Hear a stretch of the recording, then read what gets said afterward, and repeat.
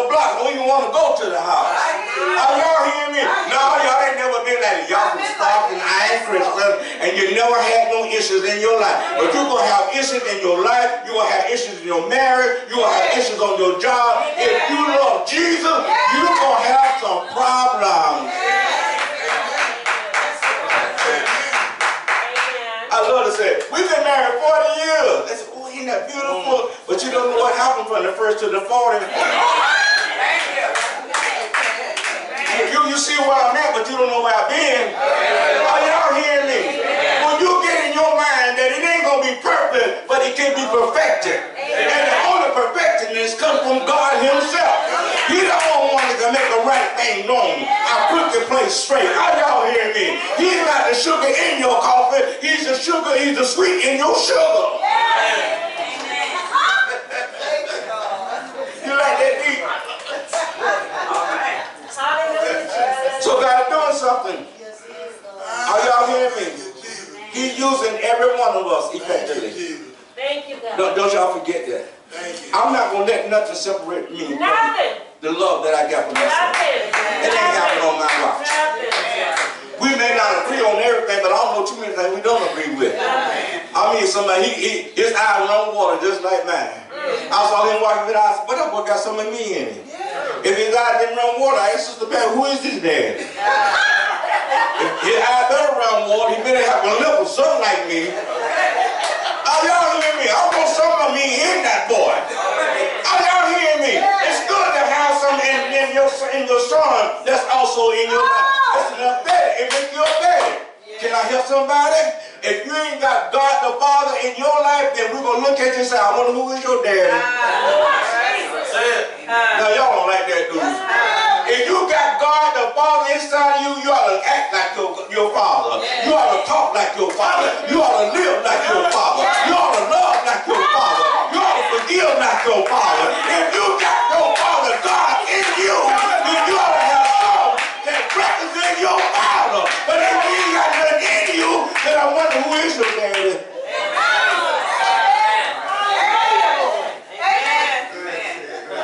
Are y'all hearing me?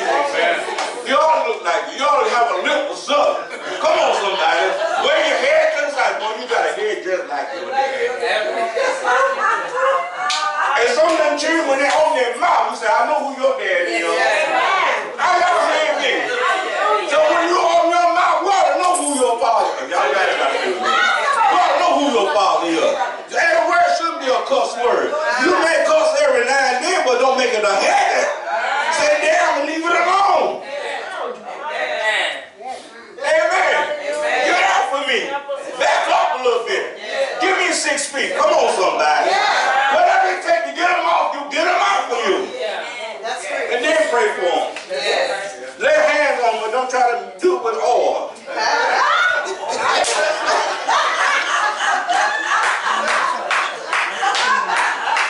Touch and agree. I touch it, but I ain't agreeing with you. I'm almost finished. I'm almost finished. God wants me to bring this to you all today. I'm telling you, it's just a lot of prayer to get the information that God wants to give to us. Prayer. Prayer is the key and faith unlocks the door. If you want to have more, you got to give more. And they ain't talking about money. See, people think money move God hard. God owns all the silver and the gold. He own some of it. My folks now, folks now will just go down like a baby if they knew what God really owned. If they try to weigh it out and show it to them, they would just faint. Are y'all hearing me? And why we got problem with silver and gold on earth when you talk about walking the streets of gold? What you gonna do to be oh man, that's a big piece right there. You ain't going to heaven. God ain't gonna have no things in heaven. Are y'all hearing me? You might as well get used to what God got for you on earth because when you you ain't gonna wait, you ain't gonna need none of that. Amen. That's why he said you gotta be changed. In the twinkling of an eye. You gotta be changed. Because ain't no way in the world we can be in heaven and be in this flesh. I'm talking about praising God all day long and you looking at your watch in two hours when you're in the church. Come on. You're yawning. Man, you ain't ready to go to heaven yet. Come on, somebody.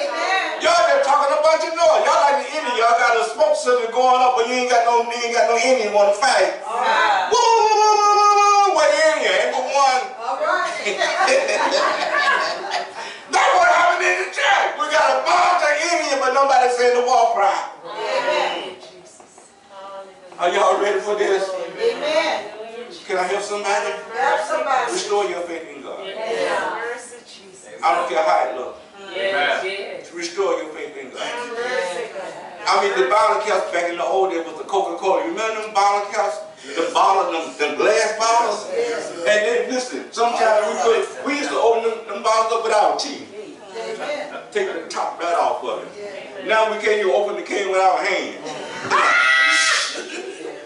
Amen. Are y'all hearing me? Where we come from and where we are, it's a whole different place. My uncle JC, he could take a rubber band, a screwdriver, and a, and, and, and a, and a pair of pliers and fix anything on your car. He would hold the hood up and say, mm, I know what's on there. Man, now we got to have the computer. We got to get, we got to Google it up. And they tell you what you need and you look at, you get, direction is just too much for anybody to even want to go by. That's right. Are y'all hearing me? They made things where you can't work on it yourself. That's right. They made things where it's gonna cost you uh, feet just to even get into the garage. Are y'all hearing me? Them days where it was either it's over with. You're not going back there no more. And the old cars, now it takes a special mechanic to work on them. You better not be around here talking about I got a 1957 Chevrolet. Who gonna work on it? And when you walk in, they say, ching, ching, ching. Yes, mm-hmm. I'm almost finished. Did anybody get anything out of this?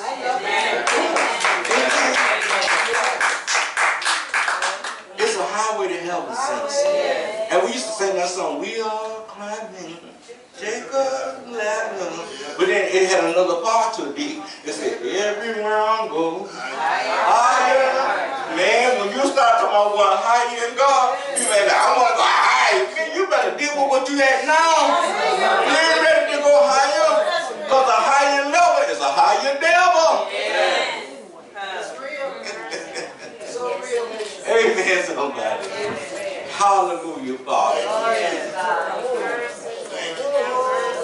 Hallelujah,